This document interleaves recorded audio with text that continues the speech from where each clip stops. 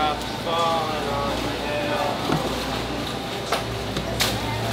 Motherfucking Benny, god damn it!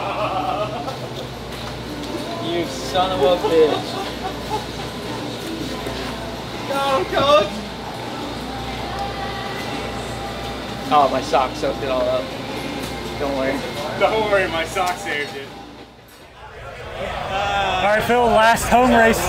Still a couple more rounds to go. Is it starting to hit you? This is coming down to the end here, or what? Yeah, no, uh, obviously Unadilla because I've been coming here since I was seven on the other side of the valley. So for me, it's it's pretty surreal. Um, kind of sad, kind of happy. I'm not going to miss the, the roost here at Dilla, you know, but uh, yeah, it's going to be a beautiful day tomorrow. Obviously, today puts a little damper on some things, but um, yeah, pretty surreal. End is near. Happy and sad. Yeah, so what was Unadilla Valley Sports Center has a lot to celebrate this weekend as it welcomes over 100 athletes for a annual thrilling race. Unadilla Motocross is hosting the Elf Fuels and Lubricants Unadilla Pro National this Saturday. The competition serves as round nine of the 2024 Pro Motocross Championship. In addition to the race, the Sports Center is also celebrating its 55th anniversary. Yeah,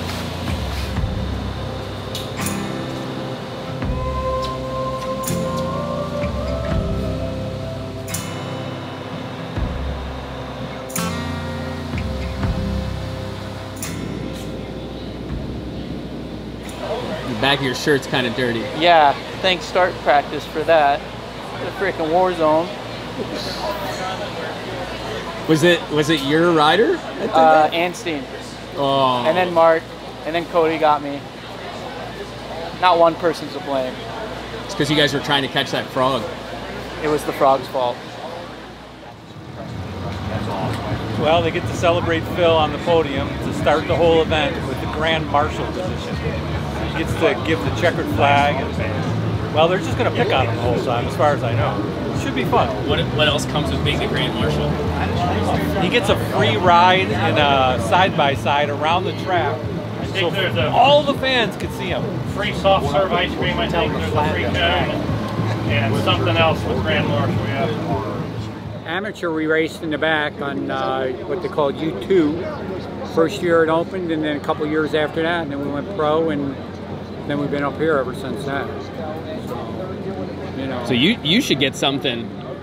I mean, he gets to be grand marshal. yeah. You've been I, here. I get heart heartache. Just joking. You know. No, Is- it's all good. Is it like surreal or weird this being the last time that he's going to race here? Yeah, for sure. I mean, you know, it's it's like uh, this is always uh, you know our local big event. This and Broome and Broome's no more, and uh, yeah. So I don't know. It's, it's, it don't feel real, but you know, all, all the people around, you know, and saying thanks and everything. It's kind of it's kind of different. So there's a lot of people here that know you too. That, Oh yeah, yeah, yeah. I have a couple guys come on up and take pictures, and then some some young young, young riders. Well, they're not so young now, but from when we were on 60s and 80s. You know what I mean? And, uh, I don't even recognize them now. They're six foot tall. Your very own Filthy Phil Nicoletti. Phil, wave that flag and present it to our official finish line flagger, Mr. Jamie Nimey. Good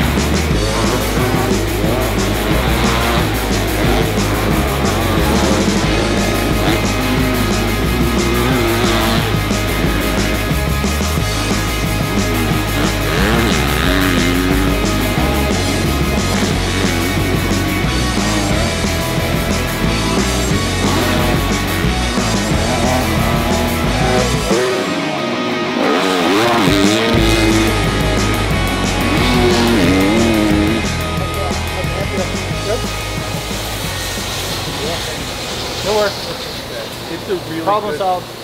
really good first moto back. Your start was fantastic. Your opening laps were fantastic, and you're going to build into it. All right, can you do better in the second moto?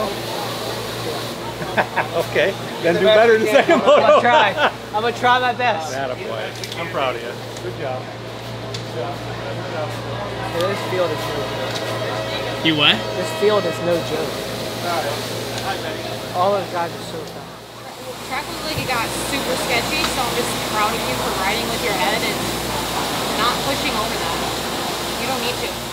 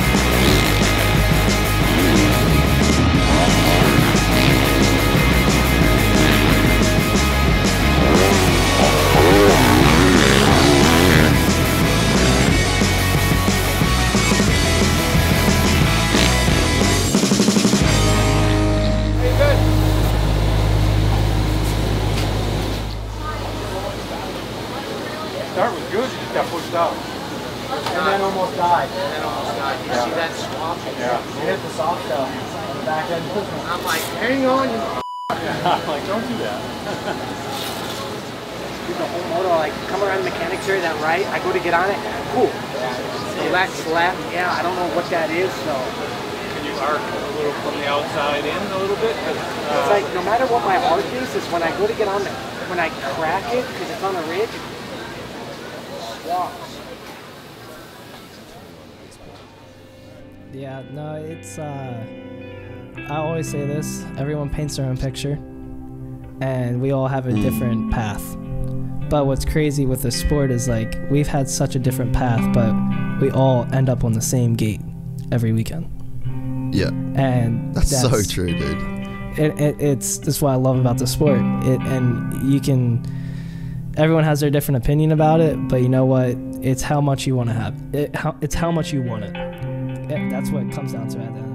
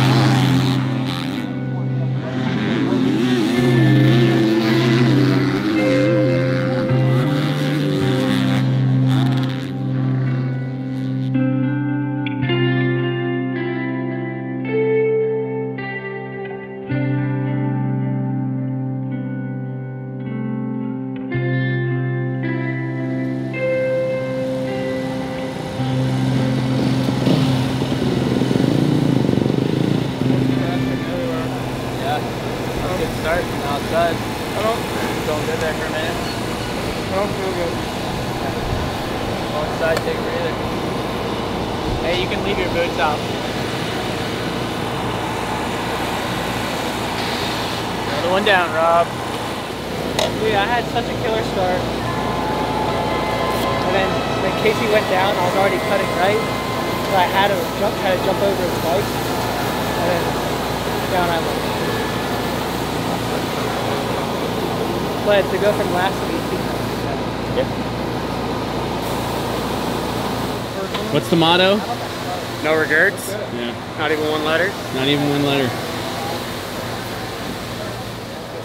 It sucked that you know you got crashed on the first lap, but you put in work after that. Your head was going forward instead of heading heading to the level behind you. But take today as a positive. And we'll just keep rolling. Tried my big. welcome back, baby. Yeah, welcome back. This is Moto. You never gave up.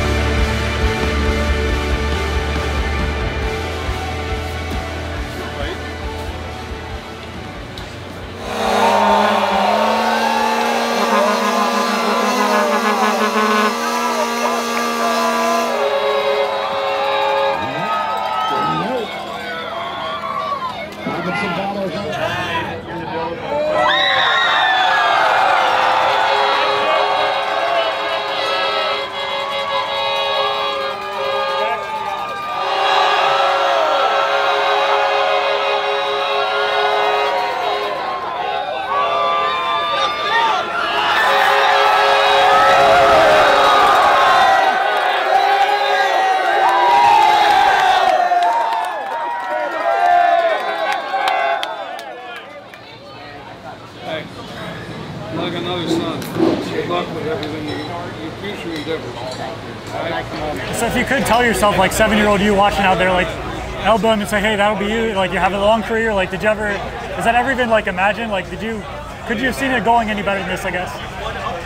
Yeah, I could have won more races in a championship, obviously, but I made money riding a dirt bike for a long time. You know, did I make millions and millions? No, but I I did okay for myself, and not only that, but to have respect from everybody in the paddock and everyone, you know, I respect everybody. Like, um, like I said, it's been a lot of really good races, a lot of really good results. Um, no, I, if I was a seven-year-old kid and someone told me that, I would have said they're a liar. So, I'm glad I made it. A lot of people didn't. So.